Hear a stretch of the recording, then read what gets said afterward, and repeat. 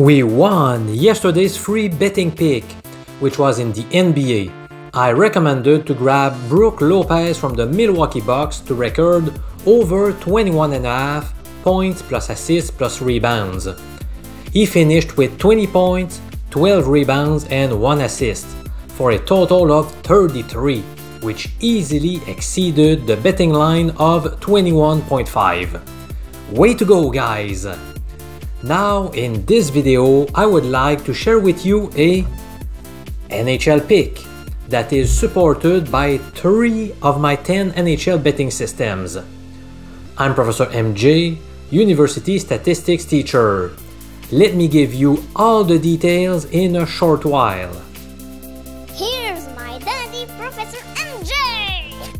My favorite betting pick in the National Hockey League for Thursday, January 12 is the Buffalo Sabres hosting the Winnipeg Jets. The best line I could get this morning was plus 113 in American format with the BetOnline Sportsbook, or 2.13 in decimal odds. Like I said earlier, Buffalo qualifies under three different betting angles that I developed after analyzing data on 9 NHL seasons. Let me discuss one of those betting strategies that I've decided to call the hot scorers. One aspect that I appreciate about this system is that it fits my contrarian approach, where I tend to go against conventional wisdom. In this case, following the hot scorers system will lead you to bet against teams that have been hot offensively in their most recent games. Let me give you the specifics.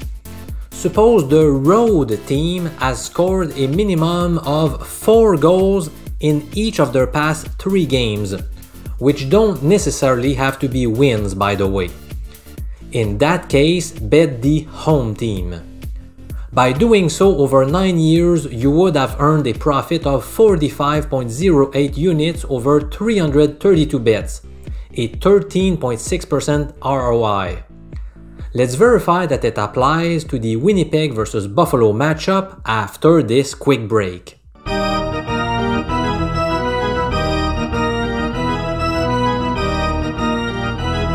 As you can see on your screen, the Winnipeg Jets have scored 5, 7 and 4 goals respectively in their past 3 matches. That fits the criterion of having scored a minimum of 4 goals in each of their last 3 contests. Since Winnipeg is indeed the road team, then according to the hot scorers betting strategy, we must fade them. And therefore we are taking the Sabres in this spot. Let me clarify something. I don't follow my betting systems blindly I also incorporate my own analysis of each game, and I also have a statistical model that estimates each team's winning probability. In this case, my model believes Buffalo holds close to a 50% chance of winning this matchup, so getting positive odds makes it a good value wager. Moreover, I have noticed that the Jets hold a 2-5 record the last 7 times they faced a team with a winning record.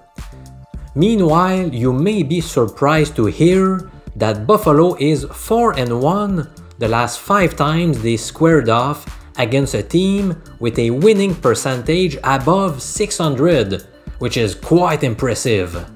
We have made money in the NHL this season, whether on sides, totals, or prop bets. We have also racked up some profit in the NFL and a lot of gains in the NBA, particularly with the money-making NBA prop bets for which we hold a 50 and 30 record right now. Since December 25, they have posted a jaw-dropping 15 and 3 record why not join the numerous other smart sports investors on my Patreon page for just $4.25 per day? By doing so, you'll receive between 30 and 40 picks per week directly in your mailbox. I'm Professor MJ, holder of a PhD in Statistics, have a nice day.